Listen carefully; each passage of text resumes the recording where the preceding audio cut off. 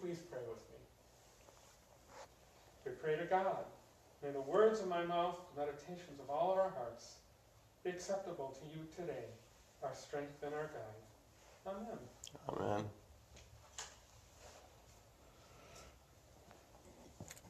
So, like last week, today we have another scripture about Jesus calling or selecting his disciples. Last week we heard John's account about Jesus calling Philip and then Philip's friend Nathanael, deciding to follow Jesus after meeting him. This week we hear more from Mark's gospel, Mark, preaching on Mark, um, about Jesus calling Andrew and his brother Simon Peter and then calling James and John, on the beach where they were fishing. Now, all four were very, very ordinary men, earning their living by being, living by being fishermen. And then along comes Jesus, preaching that the dominion of God is at hand, and that all should repent, change their lives, and believe in the good news of God. Like Nathanael from John's scripture last week, there must have been something very compelling about Jesus and about his style and his words, because all four men left their nets and their boats. They left their homes, they left their families, and they immediately followed Jesus. Mind you, there was nothing very certain about what they were doing. Their future was very much unknown in just picking up and following Jesus.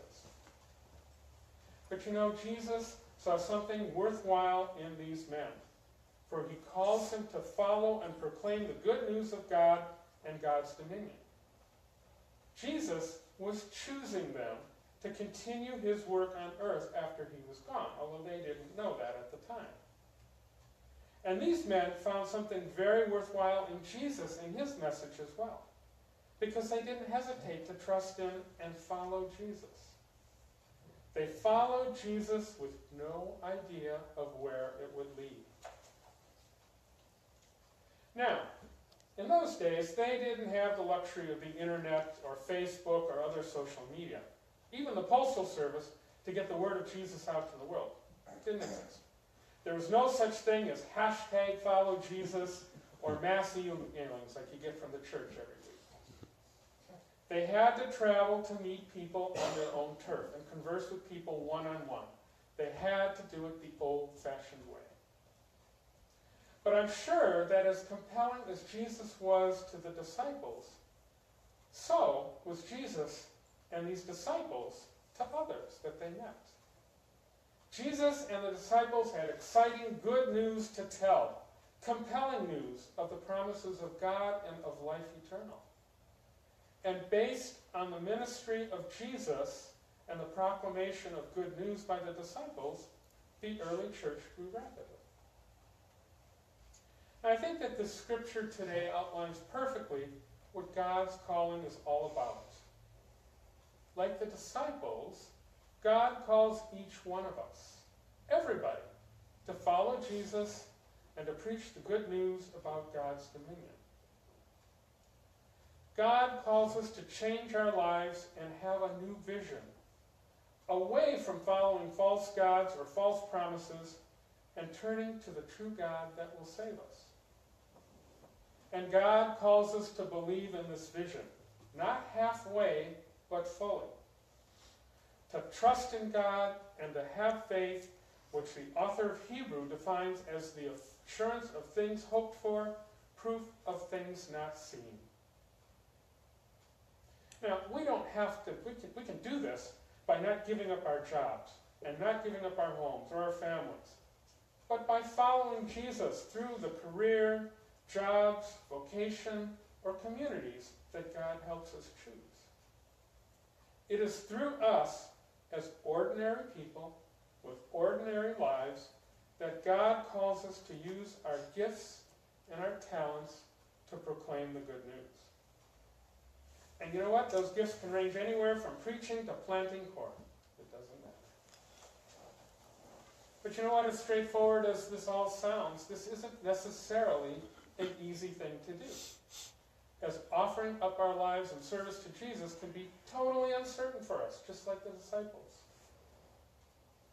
But God in Jesus Christ comes to us as ordinary people in unexpected ways and unexpected moments and calls us to trust and believe and follow. God finds something worthwhile in each of us and seeks us out to proclaim God's message. God chooses whom God chooses, and God chooses you and I. Jesus' call to the disciples was personal. So too is God's call to us. It's not a group invitation. It's not a mass mailing to join a cause. It's a direct invitation to each of us to make proclaiming the exciting news of God's love and dominion a part of our ongoing lives. As I mentioned last week, this isn't necessarily about proving anything about Christ or about persuading others to become believers. It is more about inviting others to come and see. It's about showing others that we live a life dedicated to following Jesus and loving others. Once people see that it's possible to live their lives in the same manner, I believe they will indeed hear God calling to them. So, unlike this scripture where Jesus' calling to the disciples was a one time deal, I believe that God's calling to us is an everyday event in our lives. God, through Jesus, doesn't knock on our door yelling once, You, Gail, come follow me. You, Ken, come on, follow me. And then go away. No. Even when we hear the initial calling from God or grow into God's calling during our lifetime, God still calls us many times and in many ways. Following and remaining faithful to God's call and daily following Jesus is a full time job. God calls us to believe, to trust, to have faith, even, the midst, even in the midst of difficulty or doubt or fear. When things go badly, it's easy for us to get discouraged and lose faith. But you know, if we truly commit to believing in the good news of Jesus Christ, our lives and the lives of others will be transformed.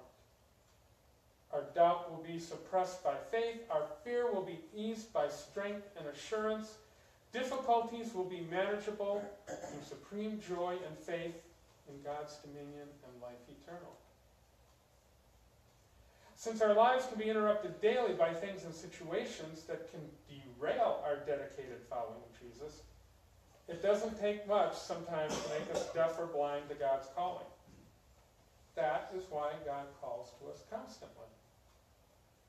Whenever we see a need or reach out to someone, we are following Jesus and heeding God's call.